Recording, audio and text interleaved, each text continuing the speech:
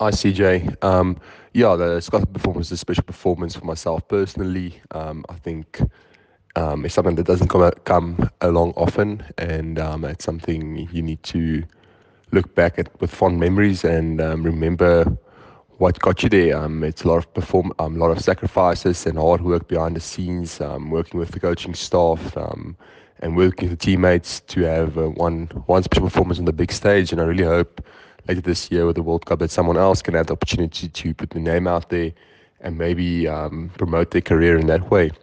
Um, I think looking at Desert I'm excited for the opportunity. It's going to be a wonderful place to go broadcast my talents. Um, and I think it's opening a few doors for uh, for a few Namibians as well. So hopefully in the future, there's a few more of our team that can join uh, um, and can join me there um, with myself and JJ and David already um, making the first draft. Um, but yeah, hopefully it's a stepping stone for a lot of guys to go forward. And um, yeah, um, there's World Cup later this year. It's another place for someone else to put their hand and someone else for special performance to maybe get recognized. Uh, thanks a lot.